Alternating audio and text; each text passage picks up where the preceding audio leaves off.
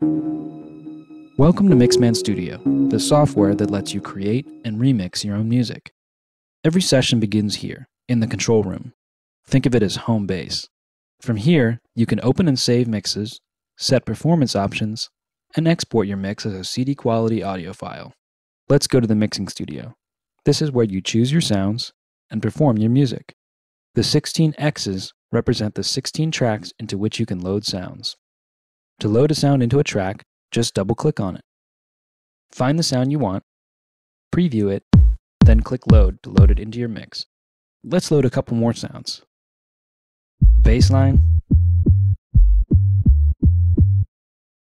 a drum loop, crash cymbal,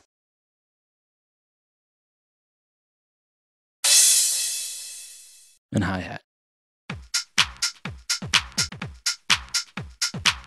To create your own sounds, just go to the recording studio and record them like this. Check this out. To perform your music, just use the keys on your computer keyboard. For a quick reference of which keys correspond to which tracks, just click the Help button. Each track corresponds to a different key on your computer keyboard. So here it goes. Click play, and to hear a track, just hold down its corresponding key.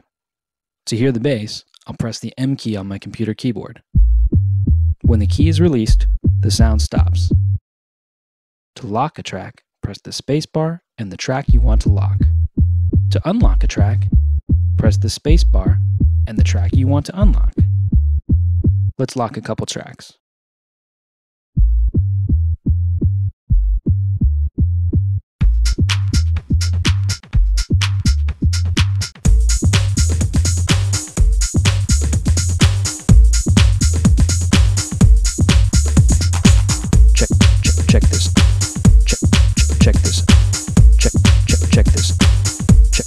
Check this out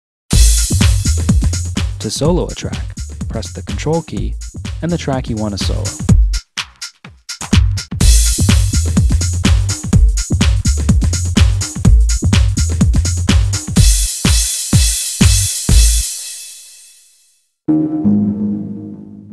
When you're ready for more sounds, we have an extensive library of sound discs with tracks carefully produced just for Mixman Studio.